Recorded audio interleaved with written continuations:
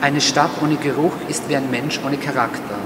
Dieses Zitat des deutschen Philosophen Gernot Böhme habe ich als Ausgangspunkt für die realisierte Arbeit herangezogen.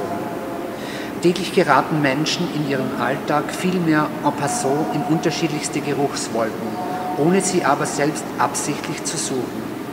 Diese Konfrontation verschiedenster olfaktorischer Atmosphären ist eigentlich ein ständiger Begleiter, wenn man zum Beispiel durch eine Stadt flaniert. Dieses unsichtbare Aufeinandertreffen wird in vielen Fällen als völlig problemlos wahrgenommen und als friedvolle Koexistenz akzeptiert.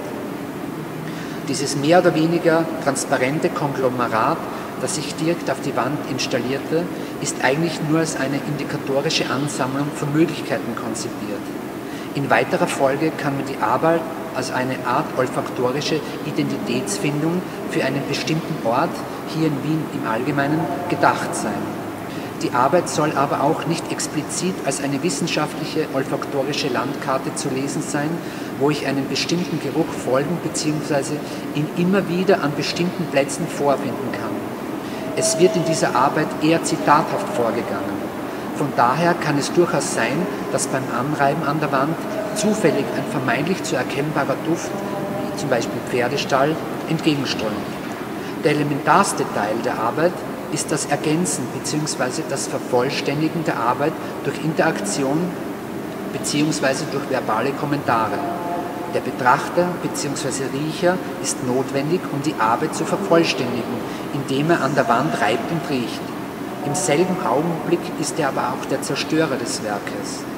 Nur mehr durch die Erinnerung an das eigene erfahrene Bild die Arbeit dann in Form von Sprache artikuliert. Die Sprache ist nach wie vor das beste Instrument für die Visualisierung bei nicht visuellen Stimuli und gerade auch bei dieser Arbeit elementar, seine eigene olfaktorische Erfahrung zu rekonstruieren.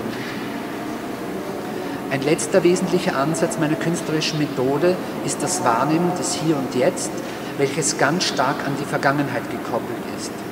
Ich versuche mit meiner künstlerischen Arbeitsweise einen Indikator anzubieten, der formal eine durchaus objektive Rezeption zulässt, aber in der Metaebene der olfaktorischen Wahrnehmung sofort in ein extrem unterschiedliches subjektives Empfinden der Betrachter umschlägt.